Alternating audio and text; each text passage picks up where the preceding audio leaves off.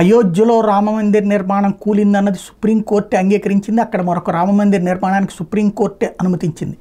వందేళ్ళకు పైగా న్యాయ పోరాటం జరిగితే దాన్ని సాధిస్తే ఒకప్పుడు కరసేవ మా రాజీవ్ గాంధీనే చేశాడని చెప్పినటువంటి కాంగ్రెస్ పార్టీ అయోధ్య రామాలయ నిర్మాణానికి అంగీకరించలేదు శంకుస్థాపనకు వెళ్ళలేదు ప్రారంభోత్సవానికి వెళ్ళలేదు. ఈ రోజు వరకు సోనియా గాంధీ కానీ రాహుల్ గాంధీ కానీ స్వామిని దర్శించుకోవడానికి వెళ్ళలేదు. ఇది ఒక పరిస్థితి. అంటే రాముడు వాళ్ళకి గిట్టరా? అంటే మేము ఇంట్లో కూర్చుని పూజ చేస్తాం కదా అనేటటువంటి పరిస్థితి. ఒకళ్ళని బుజ్జగించడం కోసం తాము చేసేటటువంటి వ్యవహార శైలి. అదే సందర్భంలో ఇప్పుడు అలాగే మన రామ సేతు ఏదైతే శ్రీలంక నుంచి చెన్నైకి ఉన్నటువంటి దారిని అసలు అక్కడ అట్లాంటిది ఏమీ లేదు అని చెప్పి సుప్రీంకోర్టుకే నివేదించినటువంటి సందర్భం.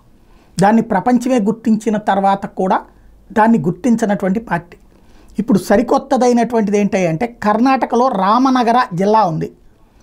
బీజేపీ వాళ్ళ హయాంలో పెట్టినట్టున్నారు ఆ పేరు.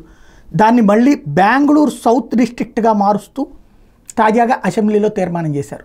రామనగర అన్నటువంటి ప్రాంతాన్ని బెంగళూరు సౌత్ అని మారుస్తూ. అంటే రామ అనే పదం వాళ్ళకి ఎందుకని మరి నచ్చట్లేదో అర్థం కాదు.